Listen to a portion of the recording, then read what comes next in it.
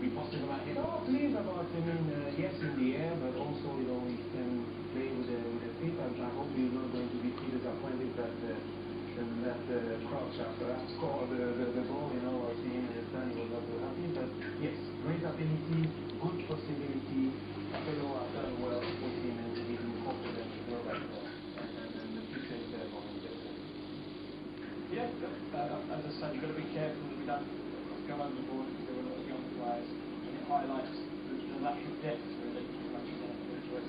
Um, it was an education for them. I think they've got to realise that's the level they've got to aspire to, and the youngsters that go back to their clubs have realised they've got a work to do. Okay, gentlemen, thank you very much. And that concludes England's 2010. It's been, uh, it's been character building, hasn't it? Right on 2011 from uh, Green Richmond and the Frenchman from Wembley, uh, Philippe